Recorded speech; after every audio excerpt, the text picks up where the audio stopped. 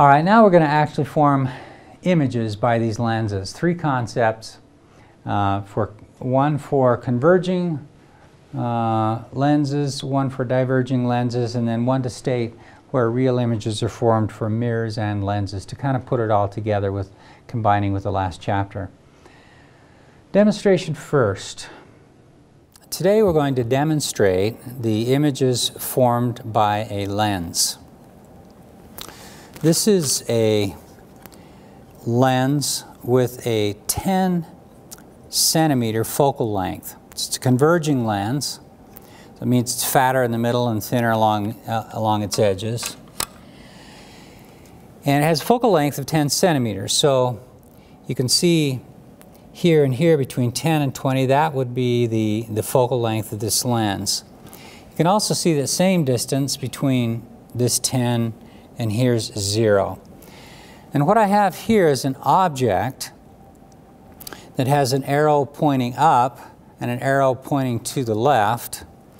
And I want to find the location of the image produced by this object through this lens. I'm going to start by looking at uh, object distances that are greater than the focal length. So my first one that I want to look at is an object distance, meaning a distance between the object and the lens of 12 and a half centimeters, this distance right here. And if we slide the, uh, the screen here, we can see that there's an image that's, that's out of focus here, out of focus here, and at about uh, this location here, it looks like it's in focus. We can also uh, determine the magnification of the image by first determining the height of the object. So this object looks to be about four centimeters tall and the image looks to be about 16 centimeters tall. But it's inverted. The object is upright, it has an arrow pointing up, the image has an arrow pointing down. And um, so the image height, we would say, would be a negative 16 centimeters compared to the object height of plus 4 centimeters. Magnification is the image height divided by the object height. And in that case, it would be uh, negative 16 centimeters because it's inverted, divided by 4 centimeters, the upright object, gives a, a magnification of a negative 4. I've shown that value here on the chart, the object distance of 12 and a half centimeters. And uh, we can work out the image distance of 50 centimeters from the thin lens equation, uh, knowing uh, the object distance of 12.5 centimeters, the focal length of 10 centimeters, and then solving for the image distance, which works out to be 50, which exactly agrees with the experiment that we've done here. The lens is at 12 and a half centimeters, and the image is 62 and a half centimeters, and that's a distance of uh, 50 centimeters. So we got a big image here, magnified, uh, with the object distance being just a little greater than the focal length. If we move the lens out to 15 centimeter mark, the object distance now becomes 15 centimeters. And we can work it out uh, that the image distance has to be 30 centimeters. So that'll be 15 plus 30 is 45 centimeters. And sure enough, it comes into to nice focus there. In this case, you can see that the image is smaller. It's closer and therefore smaller. And in this particular case, it is um, about 8 centimeters tall. The magnification is minus 2. And again, this minus 2, the minus sign means that the image is inverted.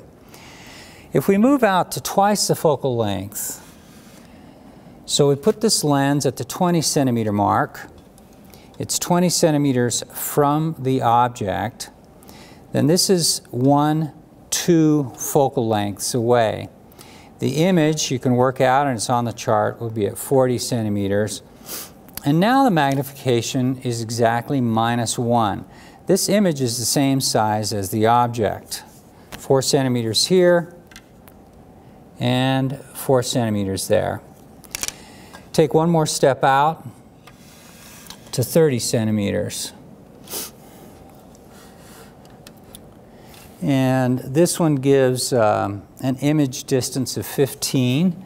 So I'm going to expect to see a nice sharp image 15 centimeters uh, away from the lens. And sure enough, it is sharp at that spot. Here it's, here it's fuzzy, here it's sharp. Right there at the 45 centimeter mark, we get a nice sharp image and a magnification of minus one half. So the bottom line here what we've learned so far is that if the lens is between one focal length and two focal lengths away from the object, then the image is going to be magnified and inverted. And also, the image is real. If the lens is outside two focal lengths away from the, the object distance is is more than two focal lengths away from the, if the lens is more than two focal lengths away from the object, then the image is reduced. And again, it's still real, um, but, and it's also inverted. So for all of the cases we looked at so far, the image is real and inverted.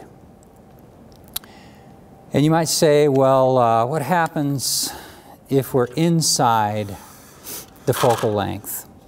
So if we place this lens inside of one focal length away from the, the object. Can't get the camera in here, so what I'm going to do is to just remove the lens and show you what happens uh, with the overhead camera. So here we've got an object distance that might be about, so this, this now, this piece of paper with the writing on it is the actual object instead of this illuminated reticle. And the, the object distance is the distance between the lens and the piece of paper. And now, at this point, we're looking at a, a, an object distance of about two centimeters. If I move it up to five, I think you'll see that the writing is becoming larger. It's becoming more magnified. And then at about seven or eight centimeters, even more magnified. And then once you get to 10 centimeters, which is the focal length of the lens, and things get blurry and it reduces to the case that we had before. This is exactly what you see here. Uh, if you work out with an object distance of five centimeters, this equation gives an image distance of negative 10. And that negative sign tells you that the image is virtual and not real. With a magnification of plus 2, if you noticed here, the, um, the print here and the image through the magnifying glass, they're both, the image through the magnifying glass is upright. That's why we get a positive number here. And as we moved uh, the, I'm calling this a magnifying glass because that's what it's acting like. It's acting just like a magnifying glass like this. Um, as we move that magnifying glass further and further from the piece of paper, the image gets bigger and bigger. And we can see that here. As we approach that object distance of 10, the magnification gets bigger and bigger and bigger. At 10, uh, if the object distance is 10, we've got a 10 here and a 10 here, and the only way to satisfy this equation is by putting in an infinite distance for the, uh, um, for the position of the image. And that is, in fact, what happens when you have the lens um, at its focal length the image is, is at infinity. On a camera, that's, uh, that's where you'll, um, you'll image a distance uh, the distance between the lens of the camera and the, the film or the array um, gets closer and closer to that focal length as the uh, distance get, approaches infinity. That's the lenses. Okay, you might have recognized those equations that we used in the demo. They are in fact uh, the thin lens equations which are exactly identical to the mirror equations that we used in the last chapter. So uh, the next step is to look at the principal rays that you can use in order to find these images. For a converging lens, it makes sense to make the, use these three principal rays. Uh, the one that go a paraxial ray leaving the object. So that's this one here, paraxial, passes through the lens, and by definition, that ray must pass through the focal point on the other side of the lens. Uh, another way is to, is to take a ray from the tip of the object, go through the focal point first instead of second. Then it comes out here, hits the lens, and becomes a paraxial ray on the other side. How do you know that? You know it by reversing the direction. Because if we come in as paraxial from this side, we know it'll have to pass through the focal point. Ray reversal. And then a third ray passing right smack dab through the middle of the lens, where the walls of the lens are parallel to each other. As long as the lens is thin, and that's why we'll, we'll refer to the, these equations as the thin lens equations, then that will look like a ray that goes through a slab, like we talked about a couple of sections ago. It'll just go straight on through with a little bit of uh, deviation, but we can ignore that as long as the lens is thin. That'll be the third one. For diverging um, rays, we can look at a paraxial ray, we can look at one that will head toward the focal point on the other side, and then will get diverted and become paraxial. So on, on the left side of this, this uh, diverging lens, it's not paraxial. On the right side, it is paraxial, but its extension from the left side over to the right side goes through the focal point. And then three, the, um, the ray that passes right straight, straight through the middle. So let's do a couple of uh, concepts. Let's see if we can do these. Draw principal rays to locate and characterize the image. And this is similar to the ones that we did for mirrors. So you've already got some experience with this. And this is really fun. It's just fun to do these uh, diagrams. And um, so I hope you enjoy it. So we're going to locate and characterize the image. Real virtual, upright inverted, enlarged reduced, unmagnified, produced by a converging lens with the object at least two focal lengths from the lens. Okay, so this is my principal axis and this is my converging lens and this is uh, my focal point and this is two focal points away or two focal lengths away. Okay? So this is the focal length on this side. So we're looking at an object that's outside two of these. Now you might remember from the, um, from the mirror equations we talked about the focal point and then the center of curvature. We don't have a center of curvature, but twice the distance of the focal length plays the same kind of role as the center of curvature does for mirrors. So we're going to put our object out here.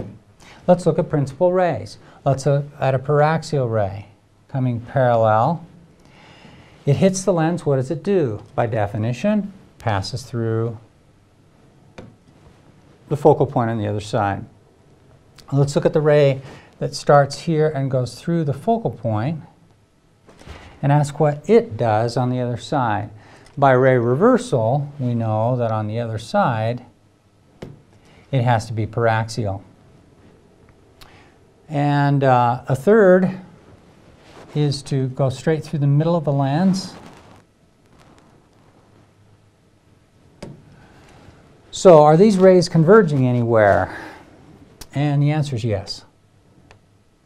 So if this is the object, and then this is going to be the image. Let's characterize the image. Do the actual rays pass through the image? Yeah, they sure do. We don't have to extend them out. Therefore, it must be a real image. Is the image upright or inverted? Well, here's an object that's above the axis. The image is below the axis, the principal axis. Therefore, it is inverted. Does it look to be enlarged or reduced? Is the size of this image, the height of that guy, uh, less or more than the height of the object? Looks to be less, so it looks like it's reduced. So that's what we get in that particular case. This is in fact what you see with a camera lens. When an object is at least two focal lengths from a converging lens, the image is real, inverted, and reduced. And um,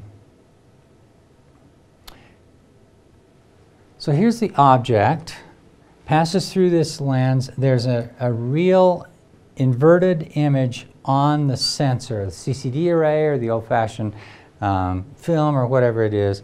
That's how you capture an image with the camera. Note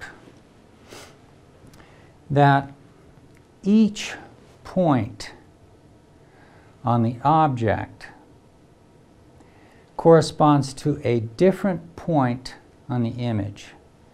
This is important. This is what I didn't understand until I got to graduate school. If you look, here we've drawn rays for a point at the top of the object. Suppose this is a, a mountain that you're trying to take a picture of. So maybe this is the peak of the mountain. Well, what about halfway up the mountain? Well, you're going to draw rays from there, and they're going to come to focus at a different point on the image. So each point on the object corresponds to an a corresponding distinct point on the image. So when we're collecting light here with the CCD array or whatever electronics is used to capture that light, we're getting at this point only light that left the tip of the object. And when we're looking at this point, we're only getting light that left the middle of the object. That's how you can get an image. What happens if you remove this lens? So it's gone now. So what kind of an image do we get on the camera? Well, let's look at it. I've got light coming from here, comes through, there's no lens, so light from the tip of the object, from the top of the mountain, is hitting everywhere on the, uh, on the, on the film. Well, all the light from here, from the middle, halfway up the mountain, it's going to be hitting on the image here too. So at each point on the image, in the image plane, right here, you're getting light from all points on the object. Well, that's embarrassing because there's no way to tell and there's no way to make an image. So what you'll get on your screen, on your imaging device, is just gray mush. It's the lens that allows this image to form where there's a one, to, one correspondence.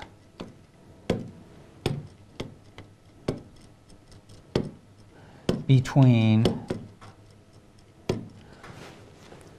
points on the object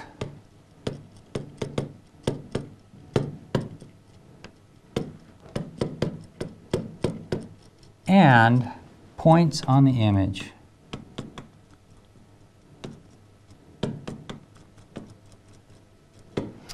And without this, you get no image. It's the way the eye works as well. You've got light coming in, that lens and the other uh, optical pieces that we talk, we'll talk about in just a second, what they do is they form an image on your retina with each point out here that you're looking at getting focused and imaged at a different point on the retina. So those cells, those retinal cells, can detect the color of each point uh, of the image that you, of the object that you're looking at. All right. Draw principal rays to locate and characterize the image. Okay, so now we're going to have between one and two focal lengths from the lens. Okay, here's a lens. One, two, one, I guess you'd be right right here, two.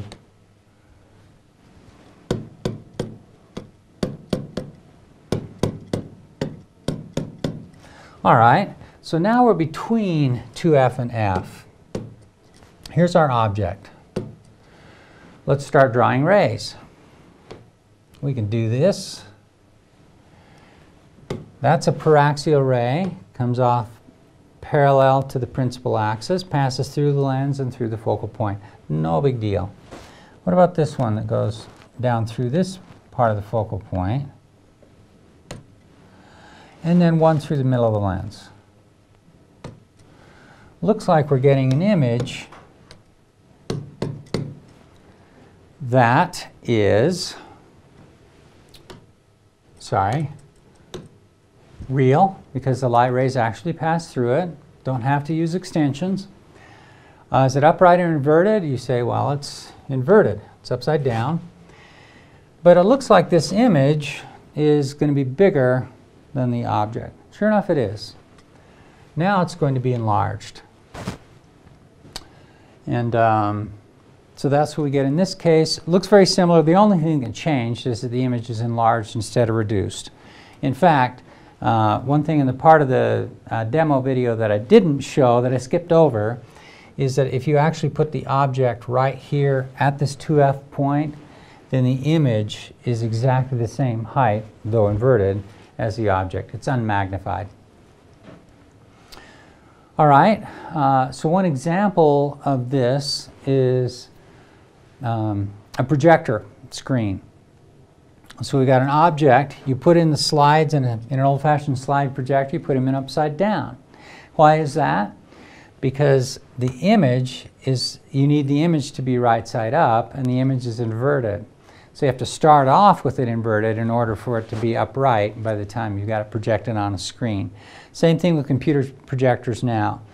Um, the object between one focal, uh, the focal length and twice the focal length, you get a real image, and it's magnified. So that's the whole idea with a projector. You want to get a big image. It's, it's enlarged. Okay, uh, third case of this particular concept within one focal length of the lens. Let's look at this one. Now this one is truly different.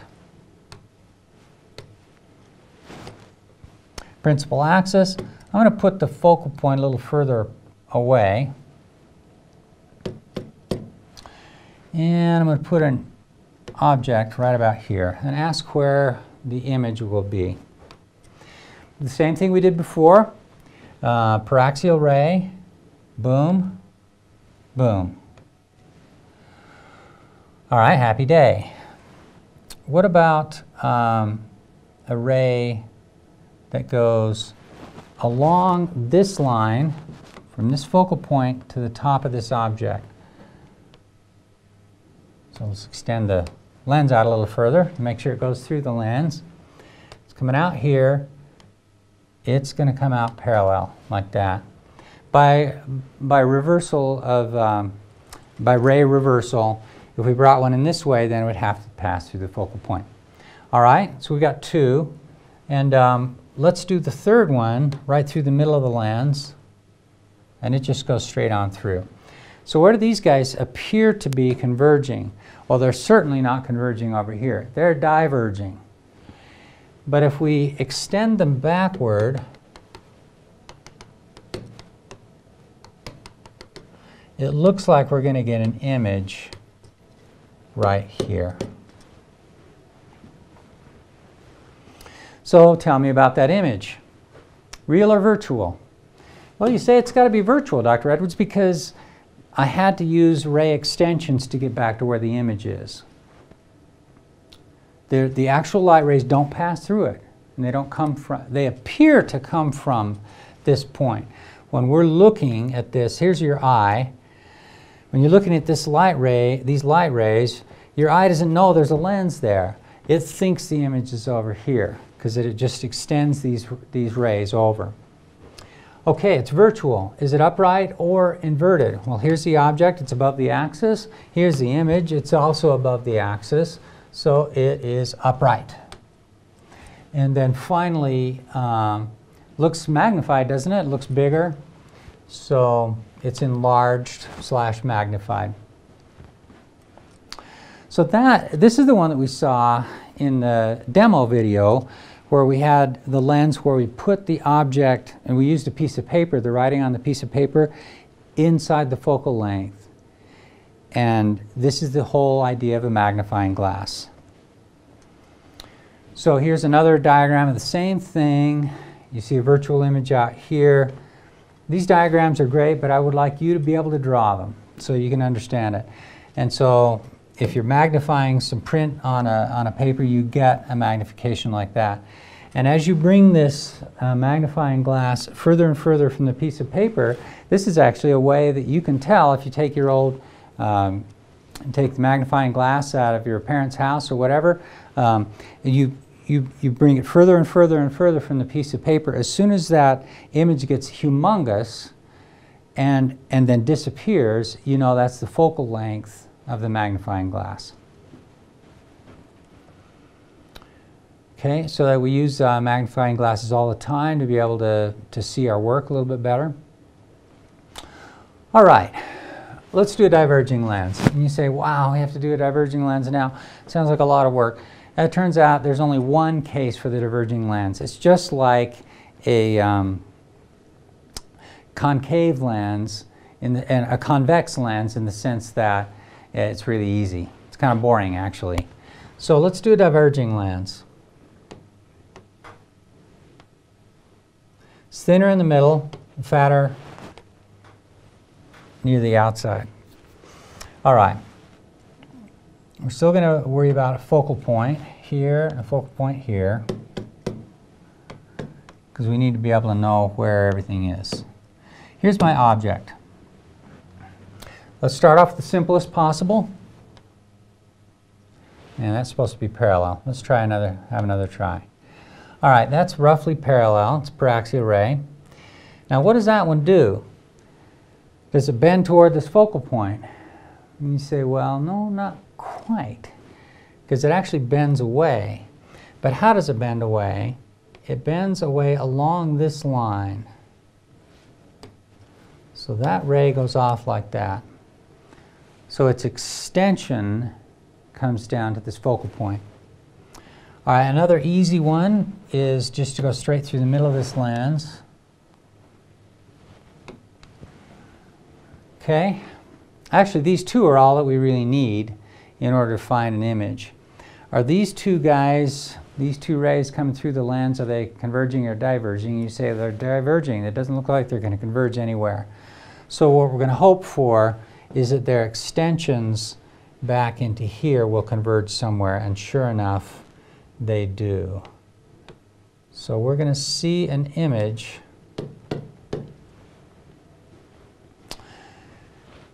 that is virtual, upright, and reduced. That's always true. No matter where you put the object away from a diverging lens, the image will be virtual, upright, and reduced. So this, with a diverging lens, you're looking at print here that's big on the page, it's actually going to make it smaller. So it's not really that useful of a device. You really don't want to use that for a magnifying glass because it has just the opposite effect. And here's a diagram that we just, um, that we just showed. All right, 2611, say, state where real images are formed from mirrors and lenses. Mirrors form real images on the same side of the mirror as the object. Remember, here's for mirrors. We have um, an object right here, and uh, if we had an object that's between the center of curvature and the focal point, we ended up with a real image that was inverted, but it's on the same side of the mirror. Object and the image are on the same side of the mirror. Well, for lenses, we're not in Kansas anymore, and if you're going to get a real object, a real image, then it's going to be on the opposite side of the lens.